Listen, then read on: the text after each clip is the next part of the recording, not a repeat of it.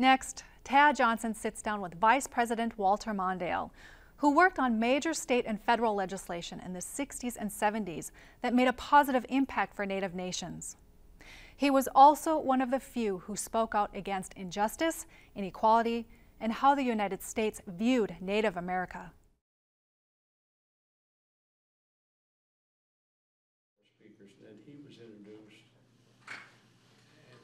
Sitting in his office at the Minneapolis law firm of Dorsey and Whitney, Vice President Walter Mondale reflects on the lessons his father taught him as a boy growing up and how he applied those lessons to his years of public service. What I did learn was from my dad, who was a devout, progressive Christian minister, about um, how we owe every person respect. Every person is a child of God, and that whenever we discriminate against people, it's a sin.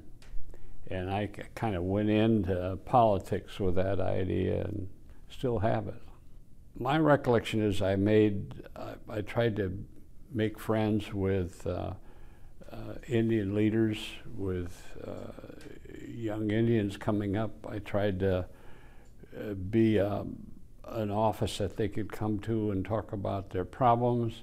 I didn't see them as adversaries, I saw them as people I could work with. I was, although I didn't know much about it, I was convinced that that the that the, that the Indians had been unfairly treated, and that uh, we there's a lot of justice work that needed to be done. And the more I got into it, the more I became persuaded that big reforms were needed. As Attorney General for Minnesota and later as a United States Senator, he was able to reform Indian policy. Along the way, he made friends with many tribal leaders, most notably the Red Lake Nation chairman, the late Roger Jourdain.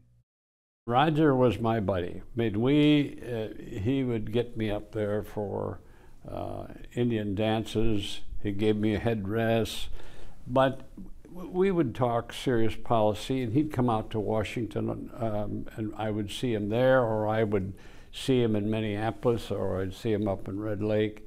Whenever he came to Washington, he always had a place in the White House with me. And I remember he brought uh, some high school kids from Red Lake to, and they wanted to dance somewhere. So we set up a platform out on the White House lawn there, and the president came out with me, and we watched them dance, and they, we, we did our best to help. And I made many friends uh, during those years. The 1960s and 70s were a time of change on many fronts, including Indian country.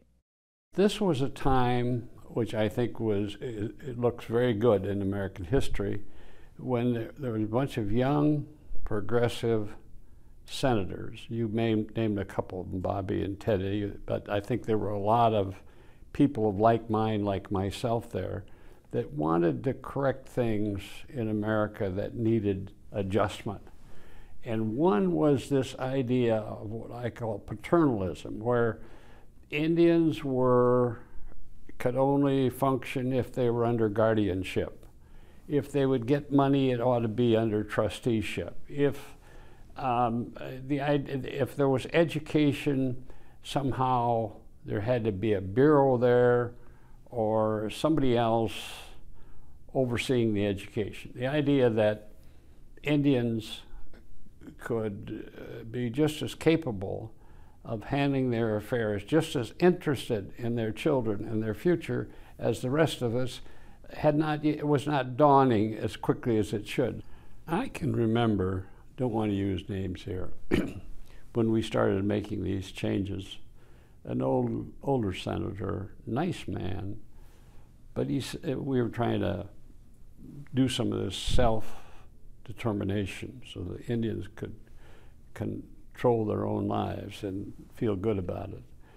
Uh, and he said, You know, are you sure you're going down the right path? You, you think they're ready uh, Uh, to do this for themselves? Don't you think we should wait until they're better prepared?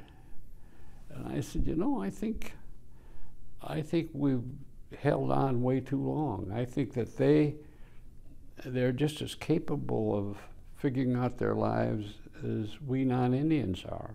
And the system we've had has not worked. It started out with trying to basically eliminate the Indian, and then we had a hundred years of making a white man out of the Indian. None of it has worked. It's time to just let Indians guide their own lives, help educate their children to feel good about themselves. As a senator, Walter Mondale sat on the Senate Subcommittee on Indian Education and helped to pass the landmark Indian Education Act of 1972. We worked very hard on that committee, and we traveled a lot around the country. We had a lot of hearings. We introduced legislation on the Indian Education Act, which passed. And the theory of the new act was parental control, local control, uh, teaching materials that fit children and their histories. That uh, where, where children, when they read it, can see things about themselves that uh, strengthen their sense of self worth. Every child needs that. Other key pieces of legislation followed during the Carter administration. One that had a great impact was the Tribally Controlled Community College Assistance Act of 1978. That's one of the most exciting things. Um, if you go to Fond du Lac, you have a community college there. It's one of the best in the country. In all, and I think we have a, a couple other locations in Minnesota. Uh, there's 70 Indian community colleges now in the country. Most of them are big successes.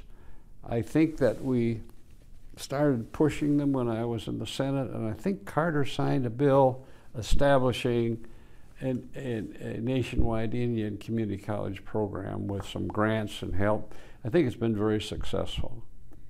There was a period of eight or ten years there when the American public were electing people there was Lyndon Johnson with all of his problems, but Lyndon was good on this stuff, and um, Hubert Humphrey, of course, and and a progressive court with Earl Warren, and and it was a time for real change. You know that whole idea of opportunity and dignity and mercy.